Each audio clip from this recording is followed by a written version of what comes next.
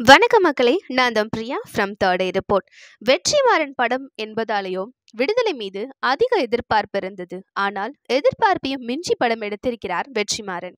ரயில் குண்டுவெடிப்புக்கு பிறகு நடப்பதுடன் படம் துவங்குகிறது. ஆரம்பமே அனைவரின் கவனத்தையும் ஈர்க்கிறது. எலக்ட்ரானிக் பஜார் உங்கள் பட்ஜெட்டுக்கு ஏற்ற ஸ்மார்ட் போன்கள் மக்களையும் இயற்கை வளத்தையும் பாதுகாக்க போராடும் குழுவுக்கு காவல்துறைக்கும் இடையேயான பிரச்சனையை மையமாக வைத்து வந்திருக்கிறது விடுதலை. பிரச்சனை உச்சத்தில் இருக்கும் மலைப்பகுதியில் போலீஸ் டிரைவராக இருக்கிறார் குமரேசன் சூரி. அந்த பகுதியை சேர்ந்த பெண் ஒருவரை காப்பாற்றும் குமரேசன் தன் உயர் அதிகாரிகளின் கோபத்திற்கு ஆளாகிறார். அருமபுரி என்கிற ஊருக்கு அருகில் சுரங்கம் அமைக்க அரசு முடிவு செய்கிறது.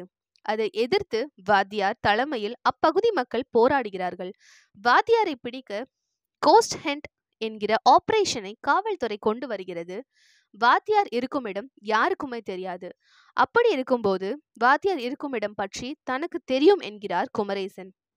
இதற்கிடையே பழங்குடியினரை சேர்ந்த பெண் மீது குமரேசனுக்கு காதல் ஏற்படுகிறது. அதே சமயம் வாத்தியாரை பிடிக்க காவல்துறையினர் அப்பகுதி மக்கள் மீது அடக்குமுறையை கையாள்கிறார்கள். பல உயிர்களை காப்பாற்ற வாத்தியாரை பிடிக்கும் முயற்சியில் ஈடுபடுவதை தவிர குமரேசனுக்கு வேறு வழி இல்லை.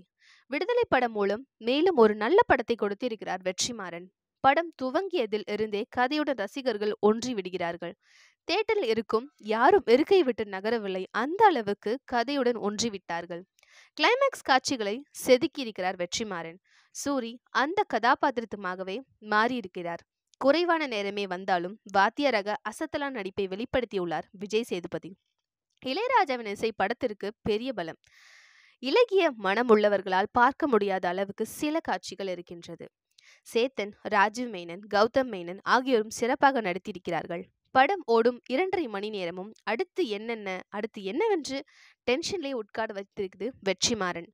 விடுதலை கண்டிப்பாக பார்க்க வேண்டிய அருமையான படம். இதே மாதிரி நிறைய தகவல்கள் நீங்கள் தெரிஞ்சுக்கணும்னா மறக்காமல் தோடை சேனலை சப்ஸ்கிரைப் பண்ணுங்கள் லைக் பண்ணுங்கள் ஷேர் பண்ணுங்க கமெண்ட் பண்ணுங்கள்